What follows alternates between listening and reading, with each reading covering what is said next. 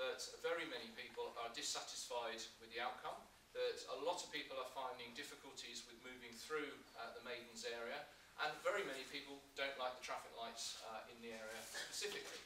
Um, lots of other comments about other aspects of the scheme, some supportive, some not supportive. What I would ask you today, if you would, rather than just reiterating that you don't like the traffic lights and you don't like whatever, I'd be really grateful if you could try to focus on what you want to see happening moving forward, because that's what we're trying to do. The message is well understood that very many people do not like the current scheme as it is on the ground.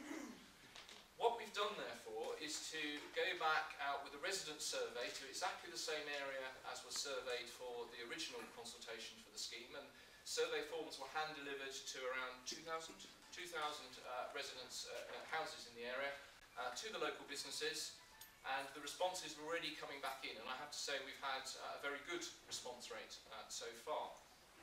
What we've also done at the same time is made some interim changes. There were some very quick uh, wins that we felt we could implement, such as widening a small section of the Shinfield Road to allow a better right turn filter lane in, into uh, Elm Road at the Sportsman Junction.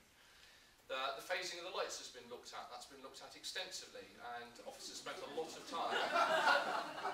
you, you, excuse me.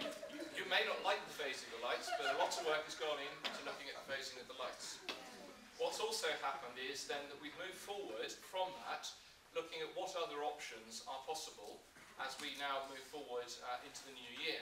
And there's a board behind me from 1 to 17 summarising all options that have been recommended by members of the public, by businesses and so on, from doing nothing through to completely reverting the scheme back to how it was before and all sorts of variations in between.